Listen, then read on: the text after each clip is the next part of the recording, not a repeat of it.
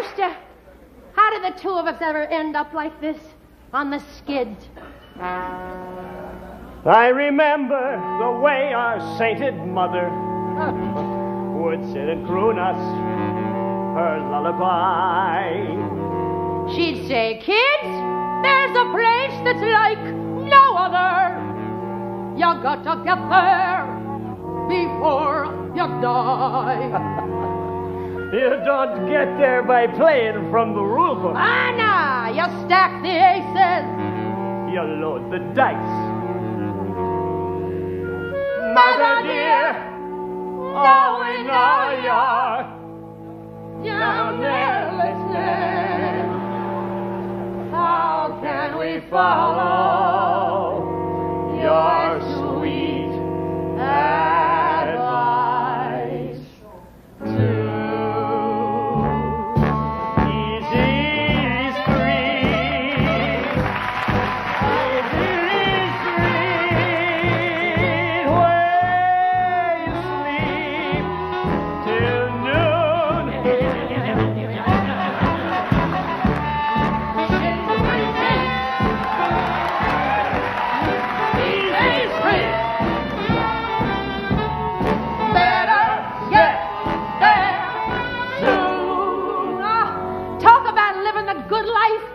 You know that kid Annie?